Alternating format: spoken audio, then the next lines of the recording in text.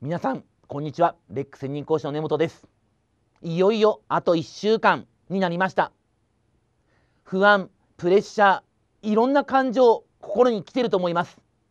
ですがこの1週間もうやるしかないんです。この1週間の学習この1週間の学習でこの先が決まると言っても過言ではありません。